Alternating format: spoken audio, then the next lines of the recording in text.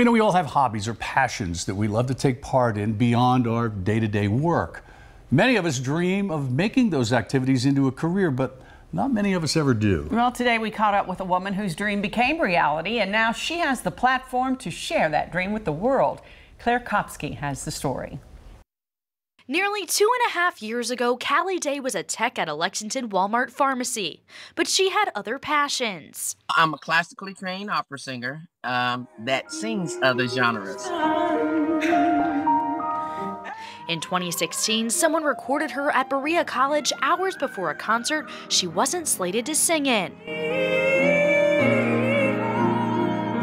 All I was doing was just practicing. You know, we're just having a practice between the two of us and um, she was playing it, you know, by memory because she didn't have the music in front of her, and I was just singing, and the rest is history.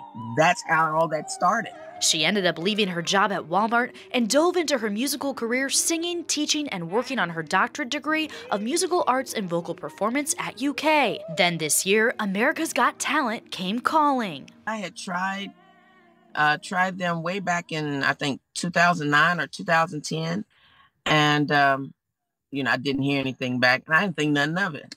Well, this time they contacted my manager. Earlier this year in March, she made her way to California for the audition. You're like, oh my God.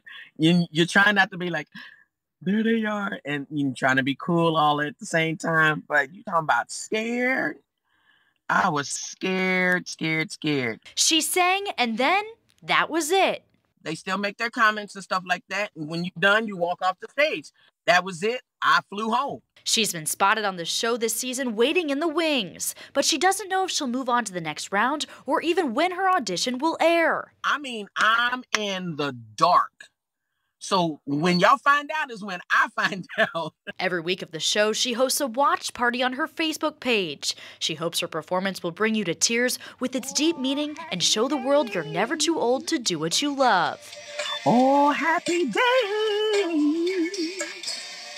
when my Jesus won.